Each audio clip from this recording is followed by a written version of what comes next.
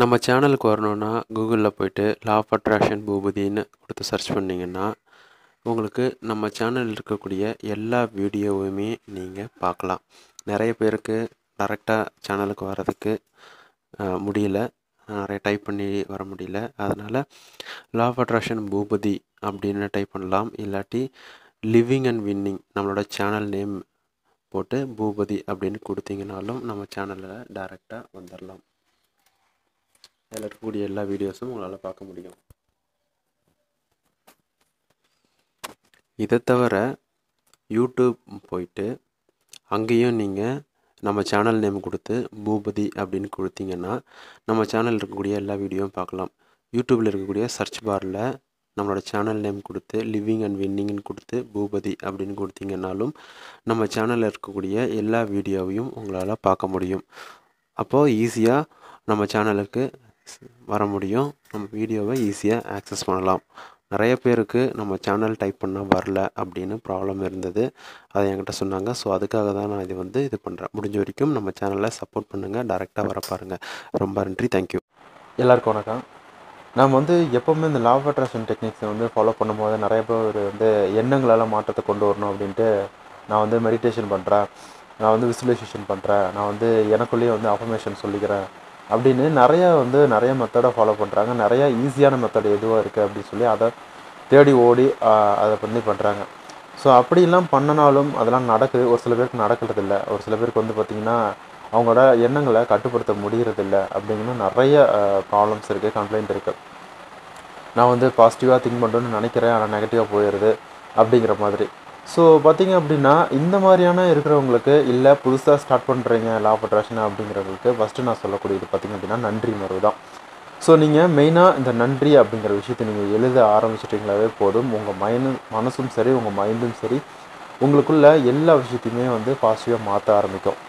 ஏன் அப்படின்னா நீங்கள் வந்து எழுதும் போது ஏதாவது எந்த ஒரு டெக்னிக்காக இருந்தாலும் சரி நீங்கள் வந்து டபுள்யூ ஃபைவ் இன்ட்டு ஃபைவாக இருக்கட்டும் இல்லை ஒரு ஸ்கிரிப்டிங்காக இருக்கட்டும் இல்லை ஒரு நீங்கள் உங்களுக்கு தேவையான விஷயத்த இமேஜின் பண்ணி எழுதுறதா இருக்கட்டும் எந்த ஒரு மெத்தடாக இருந்தாலும் நீங்கள் எழுதும் போது அதுக்குள்ளே என்ன நடக்குது அப்படின்னா உங்களோட எல்லா சென்ஸுமே வந்து ஒர்க் ஆக ஆரம்பிக்குது.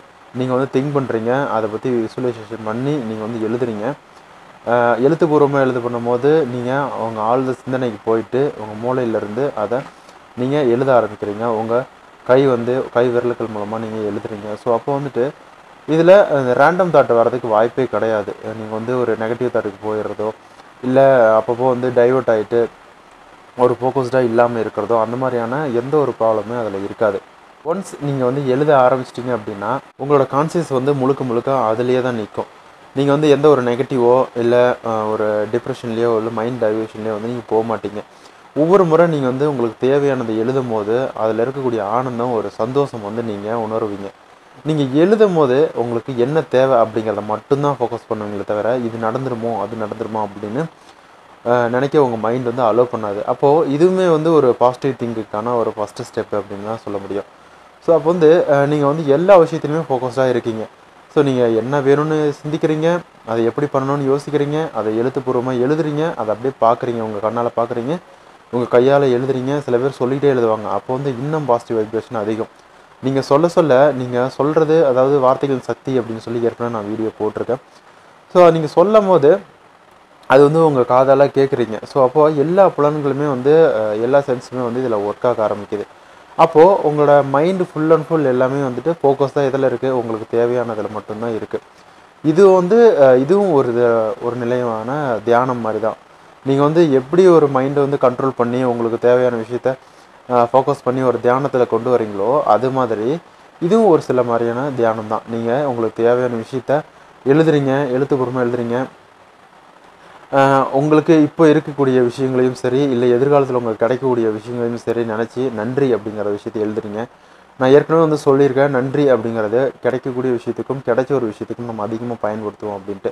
ஸோ அப்போ வந்து நன்றி அப்படின்னு எழுதும் போது உங்களுக்கு அந்த விஷயம் உங்கள் மைண்டு வந்து எப்போவுமே வந்து ப்ரோக்ராம் பண்ணது பார்த்தீங்க அப்படின்னா ஒரு விஷயம் எப்பயுமே கிடைச்சிருச்சு அப்படின்னா அதுக்கு நம்ம நன்றி சொல்லுவோம். அப்போது உங்கள் மைண்ட் வந்து அதை ஆல்ரெடி நமக்கு கிடைச்சிருச்சு. இது வந்து நம்ம கிட்ட தான் இருக்குது அப்படிங்கிற மாதிரி அதை ஃபீல் பண்ணி அக்செப்ட் பண்ணிக்கும். இதில் வந்து எந்த ஒரு நெகட்டிவ் தாட்டோ அதாவது எனக்கு வந்து இது கிடைக்கலன்னு என்ன பண்ணுறது இப்படி ஆயிருமோ அப்படி ஆயிருக்கும் அப்படிங்கிற மாதிரி எந்த ஒரு விஷயத்தையுமே வந்துட்டு அதில் ஃபோக்கஸ் பண்ணாது.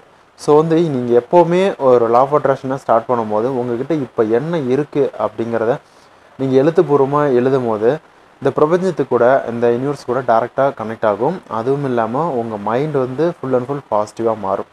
ஸோ முழுக்க முழுக்க இந்த மாதிரியான விஷயங்களை எழுத்துப்பூர்வமாக இருக்கக்கூடிய மெத்தட்ஸை வந்து ட்ரை பண்ணி பாருங்கள் ஸோ எல்லா எந்த ஒரு டிப்ரெஷனாக இருந்தாலும் சரி எந்த ஒரு ப்ராப்ளமாக இருந்தாலும் சரி உங்களுக்கு தேவையான விஷயத்த நீங்கள் எழுதும் போது கட்டாயமாக நடக்கும். உங்களை லா ஆஃப் அட்ராக்ஷனை பொறுத்த வரைக்கும் இம்மிடியேட்டாக அதாவது இன்றைக்கி எழுதிட்டு நாளைக்கு எதிர்பார்க்காதீங்க. கண்டிப்பாக அப்படி நடக்காது. ஆனால் ஒரு சில பேர் நடக்காது அப்படின்னு நான் சொல்லல. ஒரு சில பேருக்கு நடந்திருக்கு. இன்னைக்கு எழுதுறீங்க நாளைக்கு கிடச்சிருச்சு அப்படிங்கிற மாதிரி.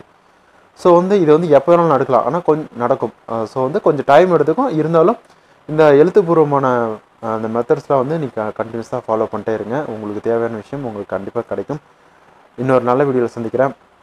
இந்த வீடியோ பிடிச்சிருந்து அப்படின்னா ஒரு லைக் பண்ணிட்டு மற்றவங்களுக்கு ஷேர் பண்ணுங்கள் உங்களோட சப்போர்ட் எனக்கு தேவை. அதனால் சப்ஸ்கிரைப் பண்ணிவிட்டு பக்கத்தில் இருக்கிற பெல் பட்டன் கிளிக் பண்ணிங்கன்னா ஆல் அப்படிங்கிற ஆப்ஷன் வரும். அதை கிளிக் கொடுத்தீங்க அப்படின்னா என்னோடய வீடியோ எல்லாத்தையுமே மிஸ் பண்ணாமல் பார்க்கலாம். ரொம்ப நன்றி. வணக்கம்.